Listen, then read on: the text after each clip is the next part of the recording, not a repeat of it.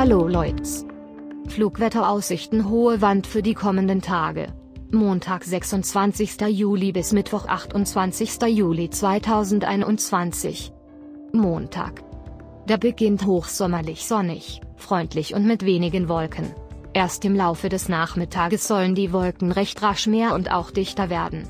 Gewitter, die heftig werden könnten, sind wahrscheinlich. Auflebender kräftig werdender Wind aus südlichen, meist Südwest, Richtungen. Dienstag. Kaum Wetteränderung, am Vormittag überwiegend sonnig und am Nachmittag bilden sich in feucht-schwülen Luft rasch große Wolken. Es soll wieder gewittrig werden. Mäßig starker böiger Wind, drehend von Südost auf Südwest. Mittwoch. Die Wolken dürften mehr werden. Aber am Vormittag sollte der freundliche Wettercharakter überwiegen. Am Nachmittag, eher gegen Abend, sind dann wieder Gewitter möglich. Der Wind bleibt mäßig stark und böig, dreht von südlichen Richtungen gegen Abend zusehends gegen westlicher Richtung.